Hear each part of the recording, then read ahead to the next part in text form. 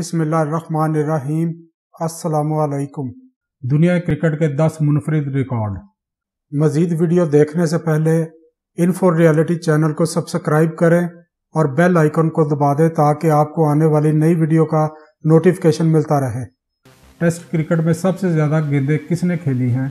किसने सिर्फ़ 14 साल की उम्र में इंटरनेशनल क्रिकेट में कदम रखा या एक ही मैच में दो हैट्रिक करने वाला वाहद खिलाड़ी कौन था? ऐसे ही कुछ ज़बरदस्त रिकॉर्ड्स के बारे में आपको बताते हैं।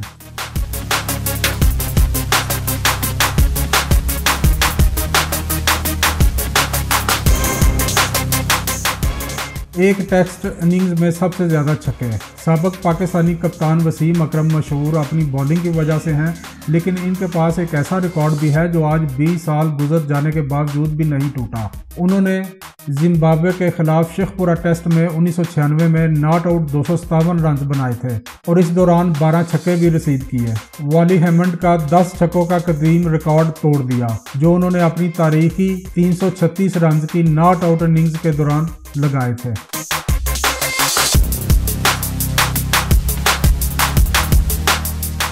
टेस्ट क्रिकेट में सबसे ज़्यादा गेंदों का सामना। इकतीस हज़ार दो सौ अठावन ये डेढ़ दहाई तक खेली गई वो गेंदें हैं जिनका सामना भारत के राहुल द्रविड़ ने किया। वो तारीख के वाहद बल्लेबाज हैं जिन्होंने तीस हज़ार से ज़्यादा गेंदें खेली हैं।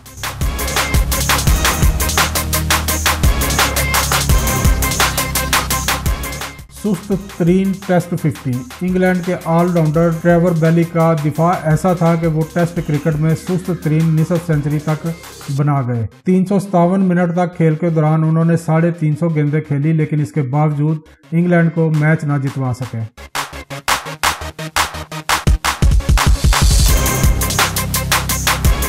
सबसे ज़्यादा मैचेस बहसीत टेस्ट कप्तान। जनूबी अफ्रीका के सबक कप्तान ग्रैम स्मिथ इस दौड़ में सबसे आगे हैं। उन्होंने जब 2014 में क्रिकेट से रिटायरमेंट ली तो कप्तान की हैसियत से इनके 11 साल दौर में कुल 109 टेस्ट मैचेस थे। ऑस्ट्रेलिया के एलन बॉर्डर तिरानवे मैचेस के साथ दूसरे नंबर पर हैं।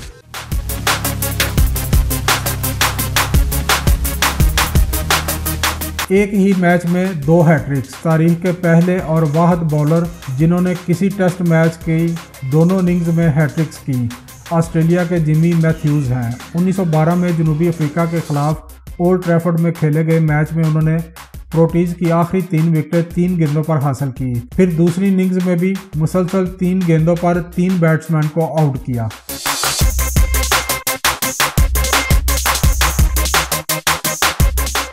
सबसे ज़्यादा पेयर्स। क्रिकेट की सलाह में पेयर्स इसको कहते हैं जब एक बैट्समैन किसी टेस्ट की दोनों इनिंग्स में सिफर पर आउट हो। न्यूजीलैंड के क्रिस मार्टन इस वक्त किंग ऑफ़ पेयर्स हैं। उन्होंने इकहत्तर मैचेस खेले और इनमें सात पेयर्स हासिल किए। वो अपने पूरे कैरियर में छत्तीस मरतबा सिफर पर आउट हुए।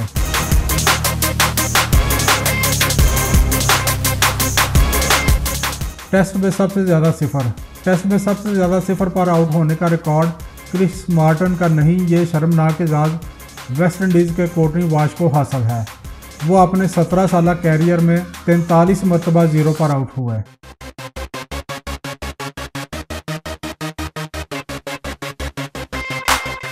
सिफर पर आउट ना होने वाला।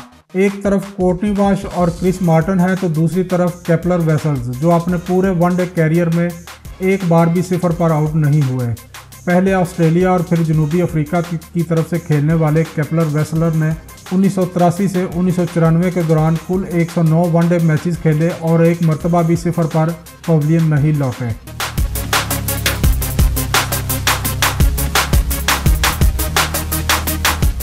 एक मैच में सबसे ज़्यादा विकटें। इंग्लैंड के अजीम ऑफ़ स्पिनर जिम लेकर का नाम अमर रहेगा। उन्होंने ऑस्ट्रेलिया के खिलाफ एक टेस्ट मैच में सिर्फ़ नब्बे रन देकर 19 खिलाड़ियों को आउट किया, जिसमें उन्होंने दूसरी इनिंग्स में तमाम 10 विकेटें लेने का कारनामा भी अंजाम दिया। वो पहली इनिंग्स में नौ विकेट ले चुके थे।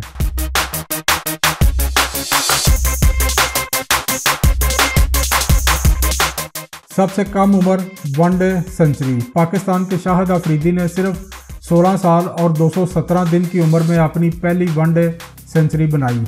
जो कई लिहाज से तारीखी थी। श्रीलंका के खिलाफ नेरोबी में बनाई गई सेंचुरी सिर्फ़ सैंतीस गेंदों पर मुकम्मल की गई थी। यानी वनडे तारीख की तेज़ तरीन सेंचुरी का नया रिकॉर्ड था, जो 19 साल तक बरकरार रहा।